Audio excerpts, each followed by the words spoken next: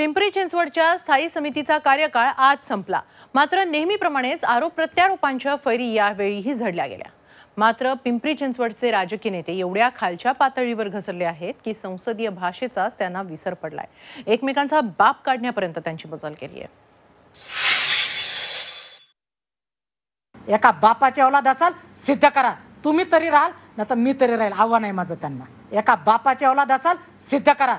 तुम्ही तरी राहाल ना तर मी तरी राहील. आव्हान आहे माझं त्यांना. एका बापाच्या औलाद असाल सिद्ध करा. तुम्ही तरी राहाल ना तर मी तरी राहील. आव्हान आहे माझं त्यांना. पिंपरी चिंचवड महापालिका स्थायी समितीच्या मावळत्या अध्यक्षा सीमा सावळे यांची भाषा कोणत्या पातळीवर खाली घसरली ते पहा. एका बापाच्या औलाद असाल सिद्ध करा. तुम्ही तरी राहाल ना तर मी तरी राहील. आव्हान आहे माझं त्यांना. स्थायी समितीचा कार्यकाळ संपल्यानंतर विरोधकांनी स्थायी समितीवर इतिहासातली सर्वात भ्रष्ट स्थायी समिती अशी टीका केली. त्यावर संतापलेल्या सीमा सावळेंना संसदीय भाषेचा विसर पडला आणि त्यांनी विरोधकांचा थेट बाप काढला. राष्ट्रवादीच्या डोक्यातनं कधी गेलंच नाही की मी विरोध ते विरोधी पक्षात आहेत मी सत्ताधारी पक्षात आहे. त्यांच्या डोक्यात एकच होतं का हिच्यामुळे आम्ही विरोधी पक्षात बसलो? आणि मला खूप प्राऊड फील होतं.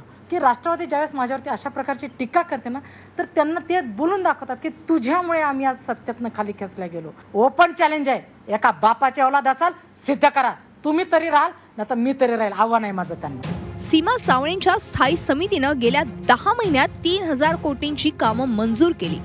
एकाच दिवशी समाविष्ट गावांच्या रस्त्यांच्या चारशे पंचवीस कोटींच्या कामाला मंजुरी देणं दोनशे दहा कोटींच्या पंतप्रधान आवास योजनेचं काम दोनशे दहा कोटींचं वेस्ट टू एनर्जी प्रकल्प आणि जवळपास सहाशे कोटींचं आठ वर्षांसाठी कचरा वाहतुकीचं काम या सर्वांमध्ये प्रचंड भ्रष्टाचार झाल्याचा आरोप विरोधकांनी केलाय.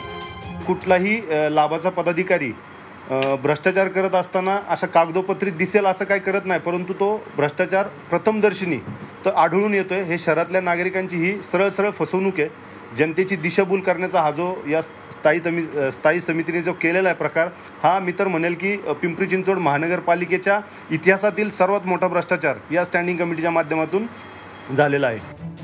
विरोधक आणि सत्ताधारी यांच्यात आरोप प्रत्यारोप होत राहतातच. पण आरोप झाले म्हणून थेट कोणाचा बाप काढणं अजिबातच योग्य नाही. संसदीय लोकशाही पद्धतीत हे शिष्ट संमत नाही.